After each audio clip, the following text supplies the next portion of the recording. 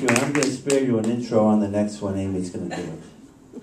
Let's see if I can find ways to embarrass you too, right? no, I'm not going to. Um, the next song is actually another part of um, my master's presentation, which was really about rediscovering my creative play as an adult.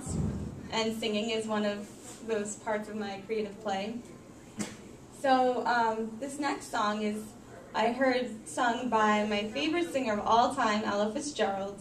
So ever since I heard her voice, I always, you know, like that would be like my ideal voice. If, you could just put another voice in me, that's what I would want, Ella Fitzgerald. Um, and so this song really, I like the way that it sounded. I also like the lyrics.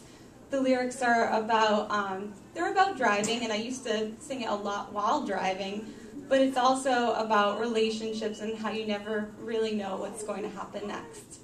So this song is called Detour Ahead. By the way, Ella was the original singer on this song. Herb Ellis was, was the guitarist, and he wrote it with his band. And Ella is the standard for this, and now the new standard.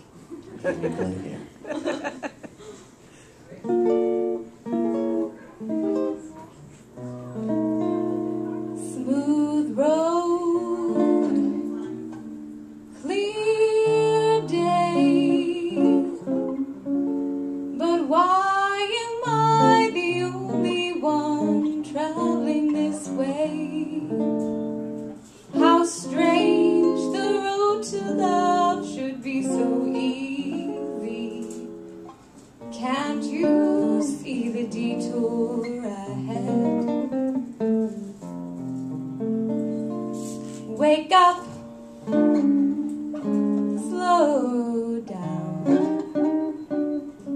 before you crash and break your heart, gullible.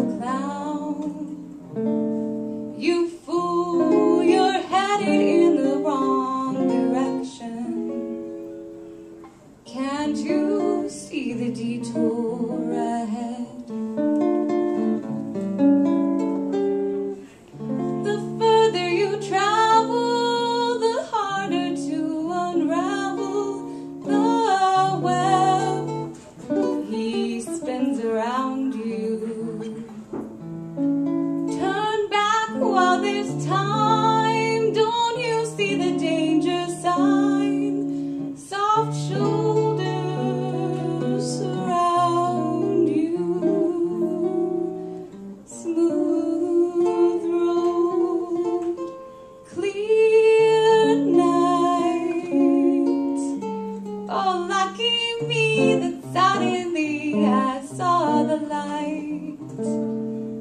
turning back.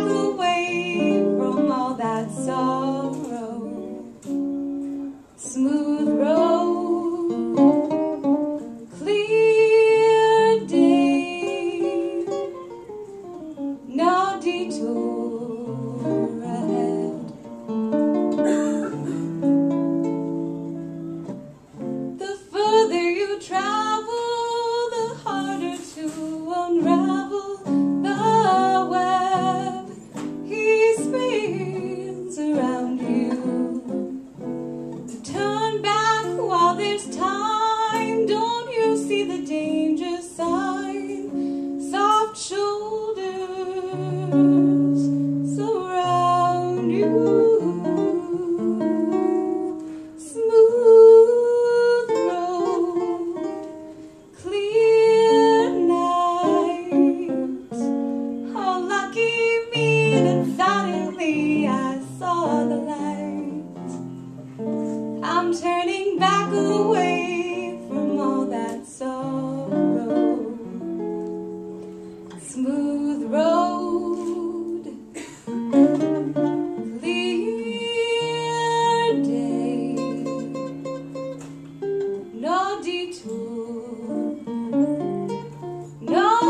I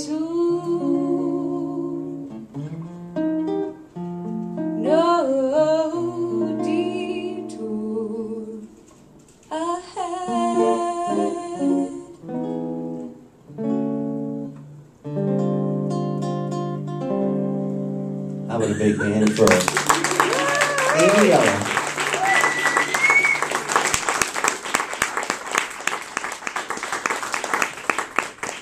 That was the first time she ever performed that in public, by the way. So she sounded great, if I should say so myself.